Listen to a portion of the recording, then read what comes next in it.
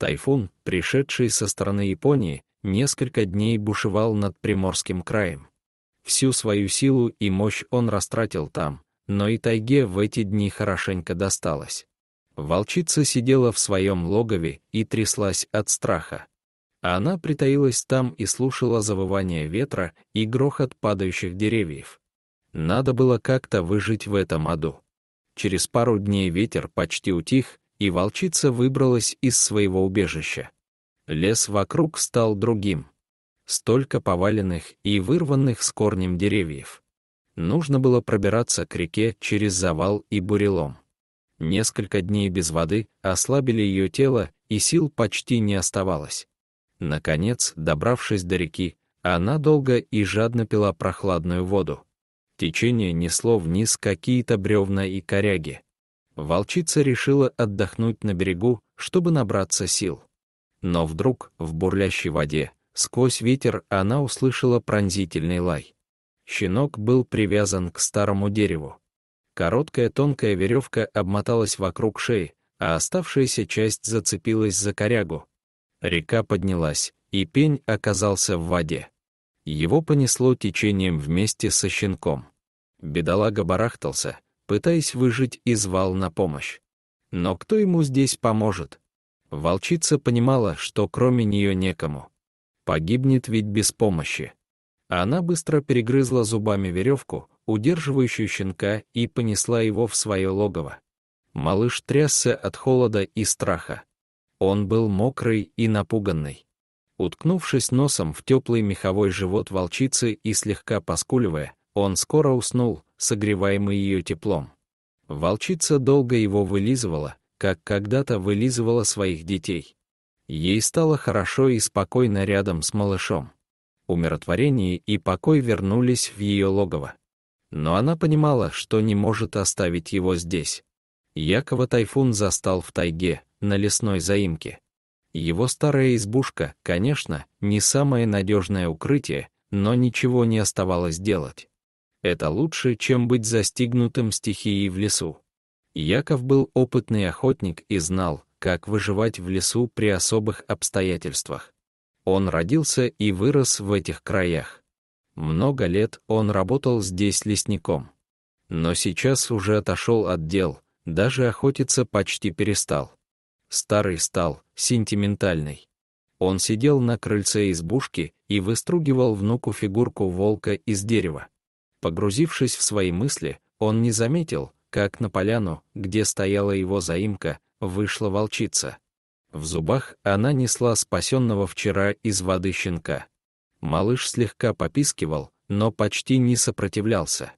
Он беспомощно висел, поджав свой короткий хвостик. Она долго и пристально смотрела на Якова, как будто гипнотизировала, пока он не оторвался от своих мыслей и не увидел непрошенных гостей. Волчица положила щенка на траву, еще немного постояла, глядя Якову прямо в глаза, как будто хотела что-то сказать, и спокойно ушла в лес. Яков, опытный лесник и охотник, был ошарашен таким поведением дикого зверя. За всю свою долгую жизнь он никогда с таким не сталкивался. Щенок, потеряв из вида свою спасительницу, стал громко кричать, скулить и звать на помощь. Яков подобрал песика, и малыш, почуяв живое тепло, тут же успокоился. Щенка, принесенного стихией и спасенного дикой волчицей, назвали Зевс. Он быстро рос и превращался в мощного, здорового пса с такой же неуемной энергией. Поэтому Яков соорудил для него огромную теплую будку и просторный вольер. Никаких поводков, а уж тем более цепей. Зевс такое не признавал. Первое время после его чудесного спасения они с Яковом еще какое-то время жили в лесу. Поэтому лес для него стал привычной и знакомой средой. Бывало, что и по несколько дней пропадал в тайге.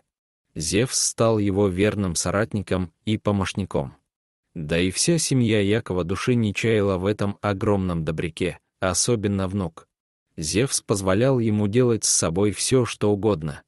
Так прошло несколько лет. Этой зимой в тайге были часто слышны выстрелы.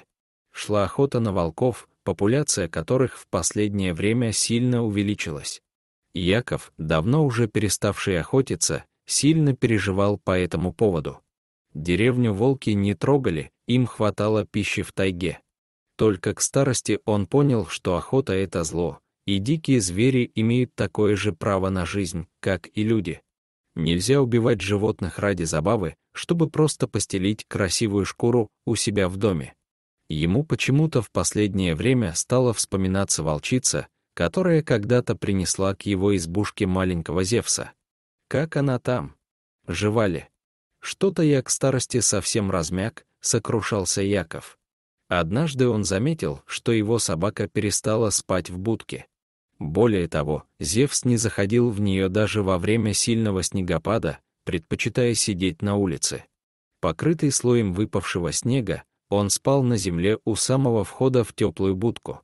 Сперва Яков не придавал этому никакого значения, но затем он понял, что что-то не так. Странное поведение пса насторожило мужчину. У Зевса в будке всегда была сухая постилка из соломы, он любил комфорт и тепло. Решив во всем разобраться, Яков пошел к Зевсу. Он заглянул в конуру и от увиденного буквально застыл на месте. Внутри лежала волчица с маленькими волчатами. Три маленьких серых комочка ютились под теплым животом матери, как когда-то маленький спасенный Зевс.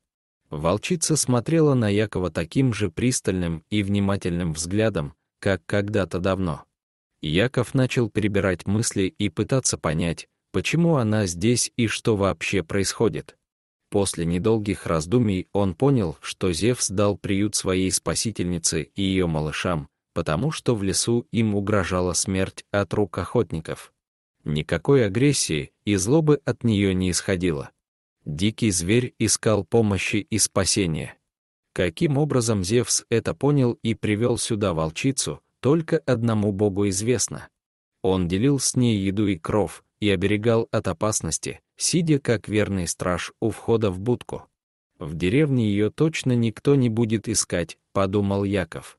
Пусть все идет своим чередом, раз так угодно природе. Через некоторое время, когда волчата подросли и в тайге стало безопасно, волчица покинула свое убежище так же незаметно, как и пришла. Вот так Зевс отблагодарил свою спасительницу. Дорогие зрители, если вам понравилось это видео, то ставьте лайк и подписывайтесь на наш канал. До свидания.